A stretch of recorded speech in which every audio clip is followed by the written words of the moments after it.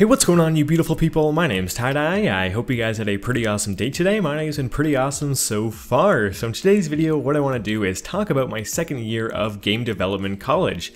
So for those of you who have been subscribed to me for quite a while, you'd know that around this time last year, I did the same thing, um, except for that time what I did was talked about my first impressions of game development college. So my first year was done and wrapped up, and I uh, kind of summarized it, gave my first initial thoughts, but now that my second year is complete, I'm a bit more grounded into the lifestyle and the reality of it. Uh, I wanted to do the same thing, just sort of like an updated version of that, go over some of the same points. I do have a list of notes in front of me here, um, and I hopefully want to tackle a lot of the same things I talked about last time, just with updated views, but I also want to talk about a lot of new stuff, and then of course there's going to be plenty of things that I uh, won't be able to go over, just because this video will be rather long anyway, so if you have any questions about anything related to Game Development College, make sure to ask them down in the comments. I'll try and be as active as I can there and answer as many questions as possible.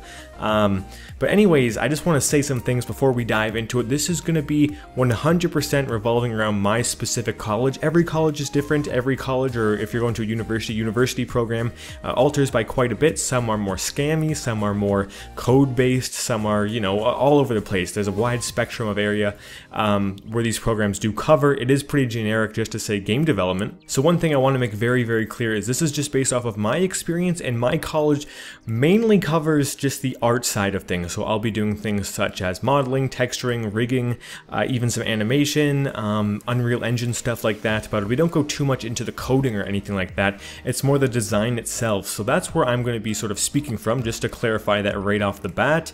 And I also want to make sure that this is very, very clear that this wasn't the most traditional school year possible. Um, for those of you who live in Canada, you may have heard, but this year there's a huge um, strike in Ontario, which is where I'm from, where all the colleges in Ontario uh, actually had five weeks off in the middle of it. So my first semester actually had a five week strike in the middle of things and uh, kind of threw things off course a little bit. That being said, I ended up just sort of sacrificing Christmas break, March break, and all of that, and I still had the same amount of school time.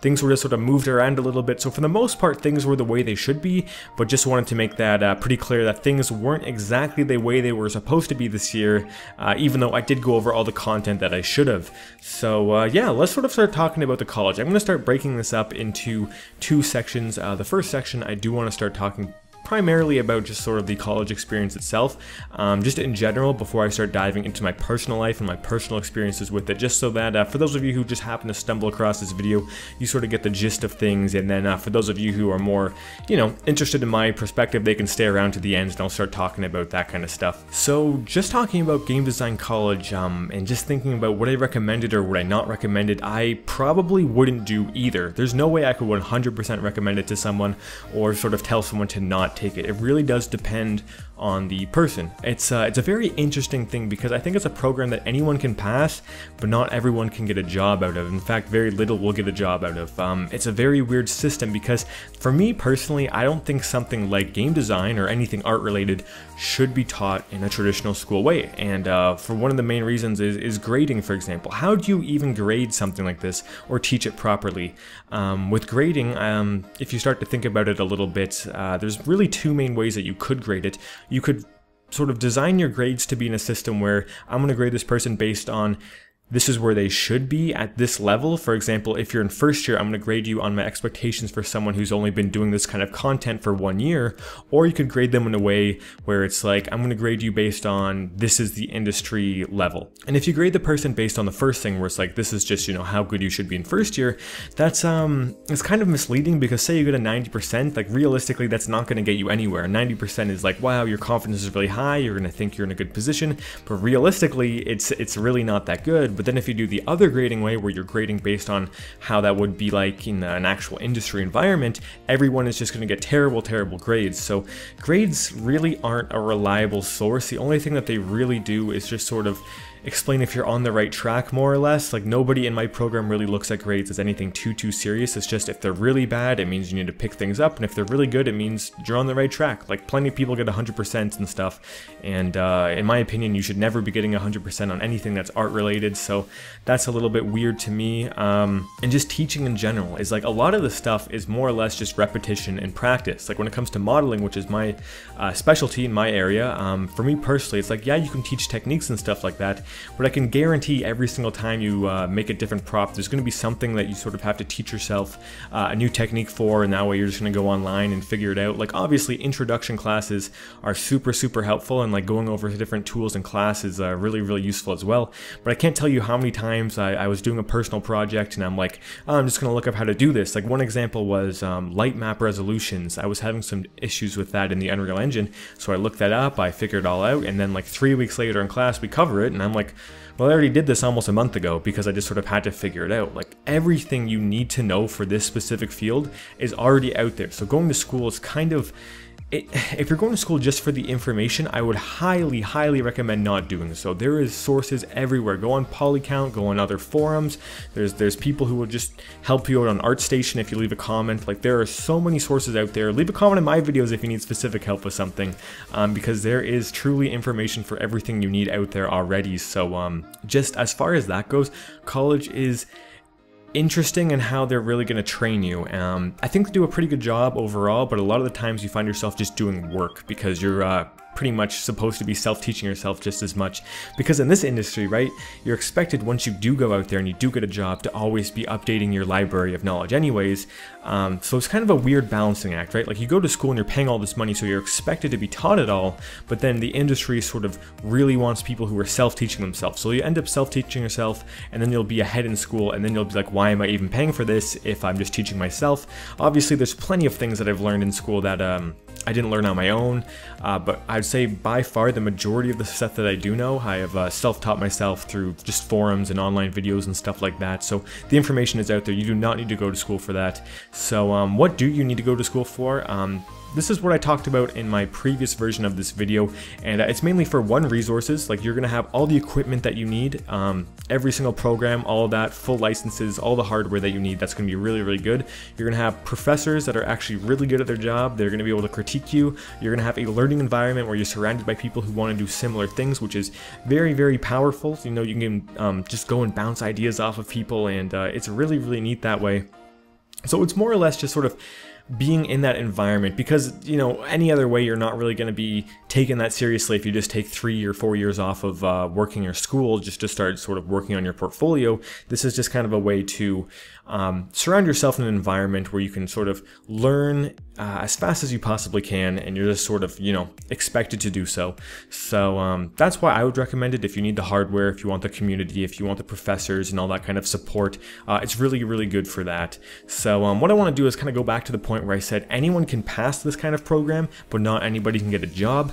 Um, to sort of get the most out of this style of schooling, whether it's uh, for animation or game design, or I would say even anything art related, you need to be just like super, super driven. You need to be incredibly self uh, motivated because essentially anybody can go through it, but um, it's three years. You can get a lot done in three years. And like I said, a lot of people just sort of go through this and coast through the program.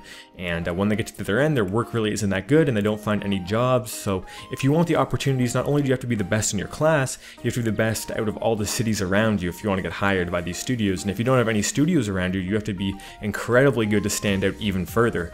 Um, it's an incredibly, incredibly competitive industry. So um, maximizing your experience is an absolute must.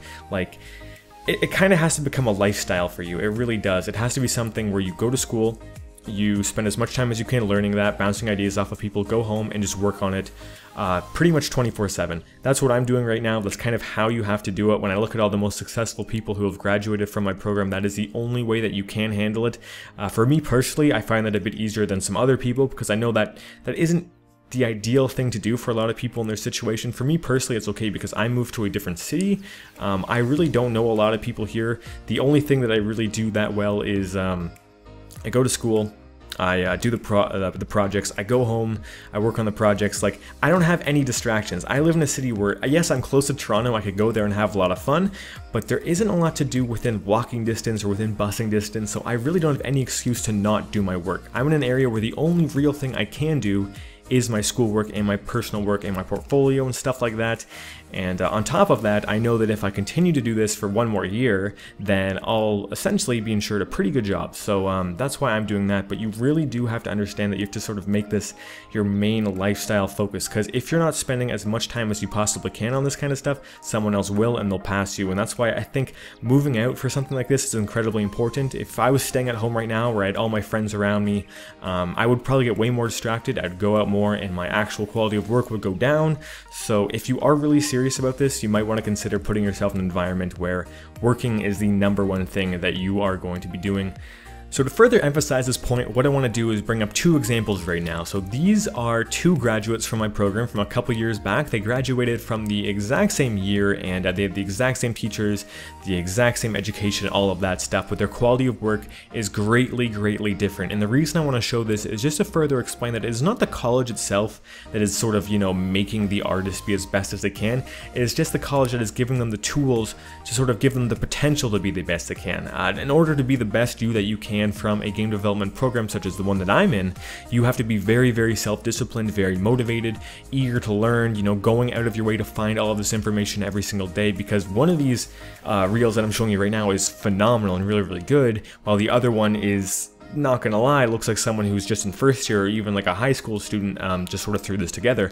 And um, Honestly, that's the thing. I've seen a lot of high school students that have incredible work that is better than some of the people graduating just because they are more determined and more motivated. You cannot expect to go into any of these programs and just because you pass means you're going to get a job in the industry. Now, for a lot of people, that seems a little unfair because with a lot of other programs, I'm not saying that you're guaranteed to get a job if you finish it, but a lot of programs out there sort of they're they're more like they they don't really hold your hand but once you get through it and you pass it that's kind of that then you're sort of qualified for the job but with this stuff it's all about how well you can figure things out on your own, how well you can sort of apply the knowledge you're given and, and, use it in a creative way to sort of find a solution to an issue.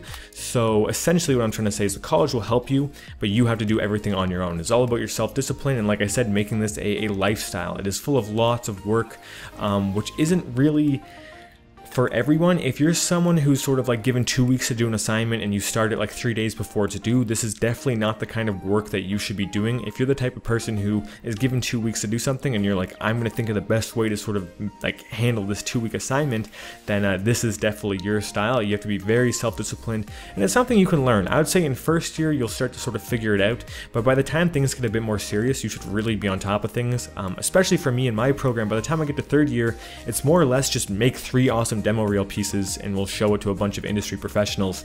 Uh, there's really no major structure other than the one that you make for yourself, and that's just kind of how it's going to be once you go out there. So if you can't handle that in school, um, it's just sort of like a, a training ground for what it's going to be like when you actually go out there to school or out there to work rather. Now with that being said, there is a ton of work to do, but not all of it is really applicable to what you want. Now for me personally, the main areas that I'm really interested in is modeling, texturing, rendering, lighting, that kind of stuff. I like making environments, I like putting stuff together in a game engine, and I'm making my own little diorama or my own little world.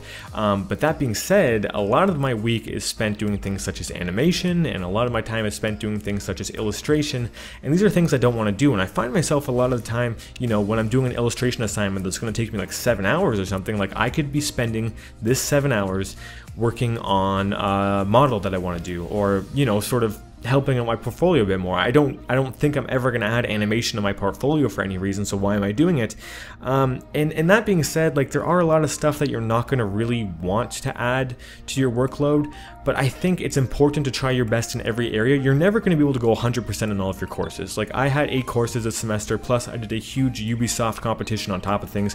Like you are too busy to go 100% on any of your school projects, but um, that being said, you should still at least try everything. Like I'm not an illustrator by any means, but I like to learn illustration because it can sort of help me with design, help me with composition and stuff like that. So I'd recommend always staying on top of that kind of stuff and always at least trying your best with the limited time that you have given for something like that. So that was kind of how school is in general. Like I said, as, as long as you're a really self-disciplined person who thinks you can do this kind of stuff on your own, this is definitely going to be uh, right up your alley. You know, it's uh, just sort of there to give you the opportunities, but you have to do most of the work yourself.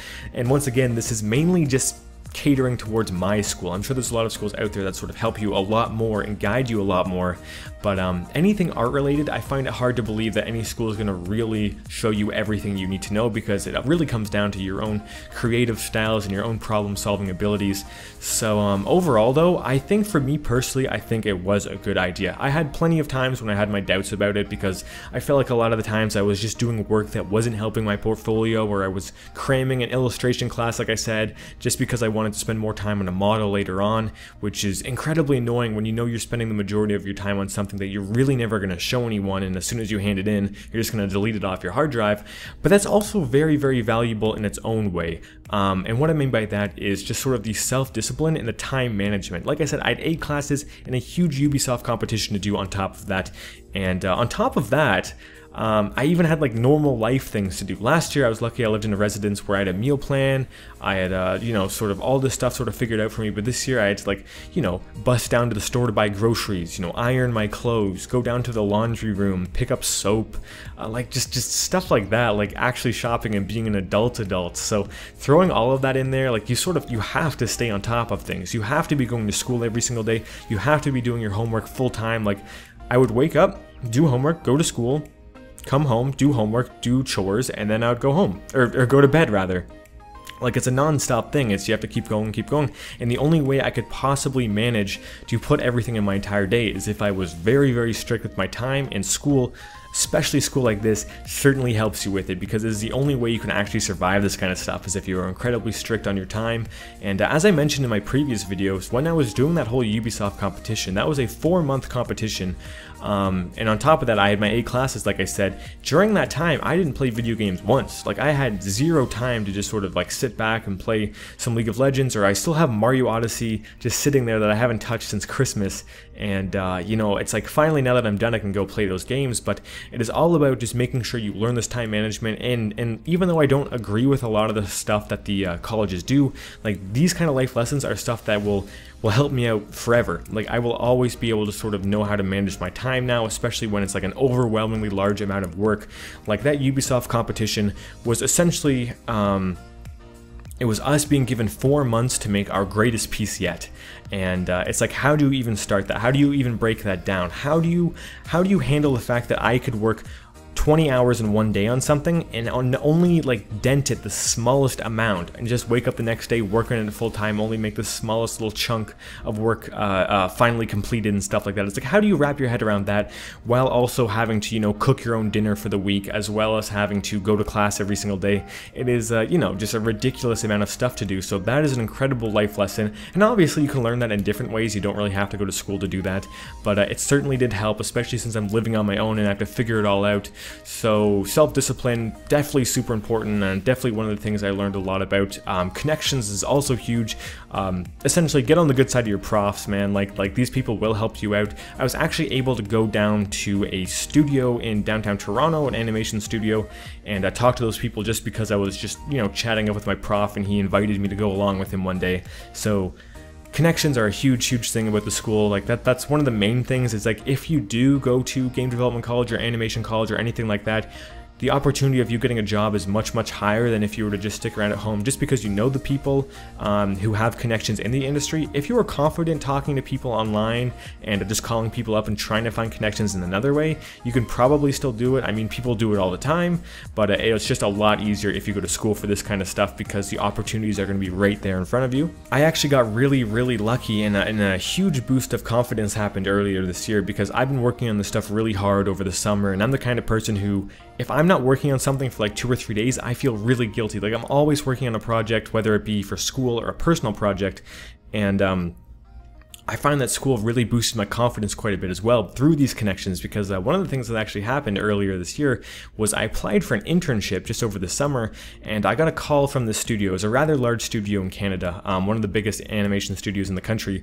And uh, one of the cool things that happened was is they called me and I just wanted an internship and they called me and wanted to interview me for a full-time job, which was crazy because that's what I wanted to do. This was actually one of the studios I really had my eye on, but I sadly had to turn it down because I'm still in school. I told them I'd reapply, but but um, just the fact that they would even want to interview me was super, super humbling.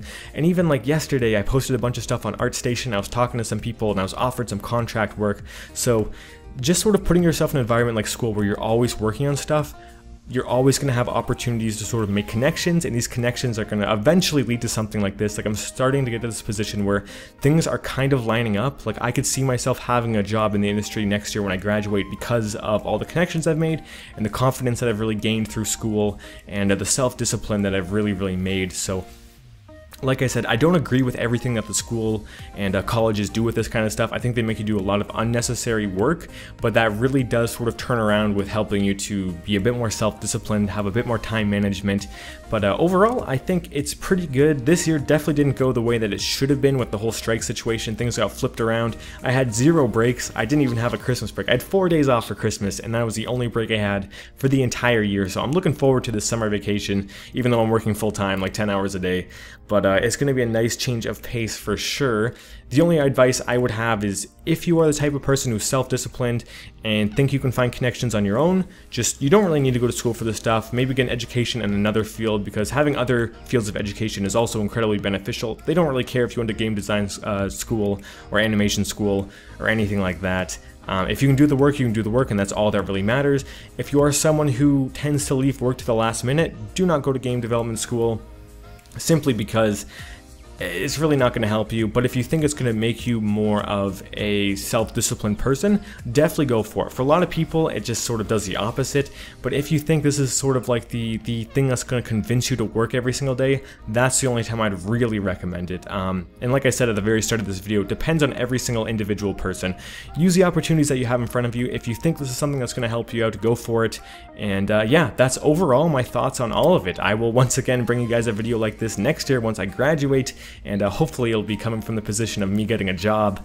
That's the uh, that's the dream right there. But anyways, guys, if you have any more questions about this, that's just my general thoughts. But uh, leave some in the comments down below. I'd love to talk a bit more about this down there. And look, maybe uh, someone else asked a question that you want to ask already, and uh, I'm sure there's plenty of answers down there. So once again, guys, um, this is probably the end of the video. So thank you all for watching. Once again, my name has been Tie Hopefully enjoyed the video, and I will catch you in the next one. See ya.